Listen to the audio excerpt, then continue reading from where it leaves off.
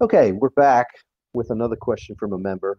As humanitarians, we say that our discernment and connection to our counselor is the key to success. Very short. Absolutely correct. What is your counselor? We don't really know.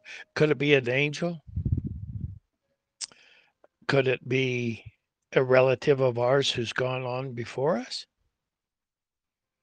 Could it be some ascended master that wants to come down because we have associations with them in previous lives?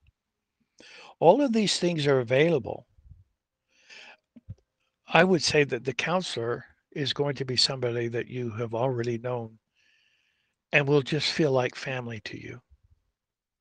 Could be your dad, your past,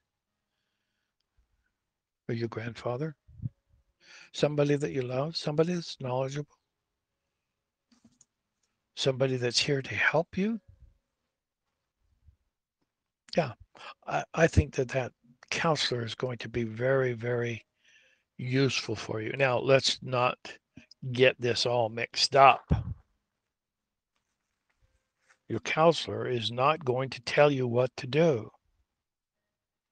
You don't get to go to your counselor and say, Should I have this person as my managing director for this CAC, or excuse me, the director for this CAC? Do you think he's going to give you an answer? What would he do if he was giving you an answer? He's taking over your responsibility. You're the one that's supposed to be asking, asking him, and that's just a conversation. Well, what do you think? Well, this is these are the things that I feel are, are why I would choose this person.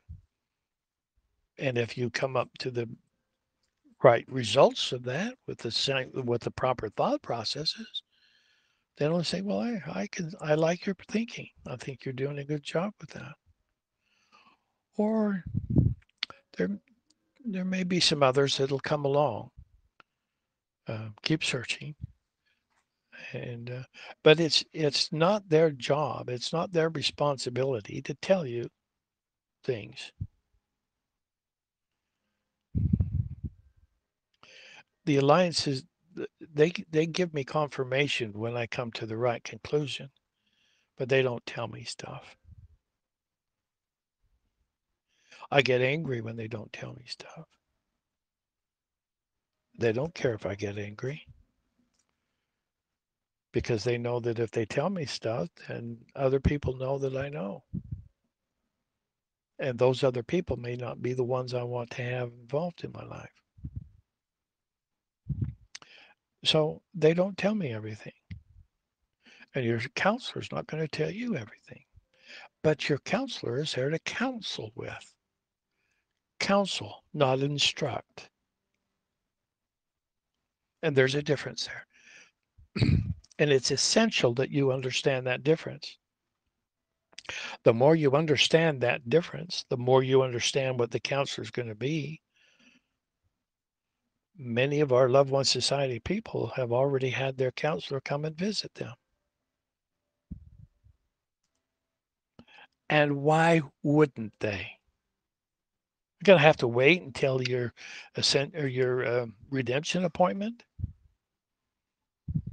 They already know who you are. They, they already know you're going to be. They're now. They're not in time.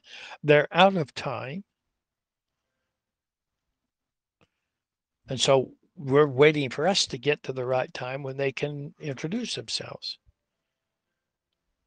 But if you gain the position where you can start receiving revelations,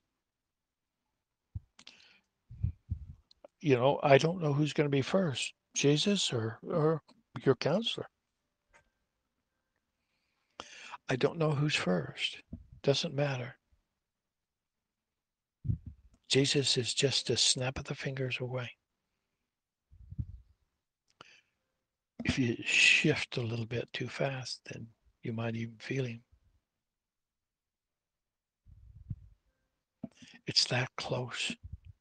He's that close to us. Your counselor has already been assigned to you. It's your job, can be if you want it. Find out who it is. Ask and it shall be given. Doubt not, fear not, but be believing. Now, if it just comes to you in your mind and you think, hmm, I wonder if that's true, and you got it in your mind after having a question, don't doubt it. Just let it be true. It's so simple. Don't doubt it. Well, my, and you don't go talking to other people about it.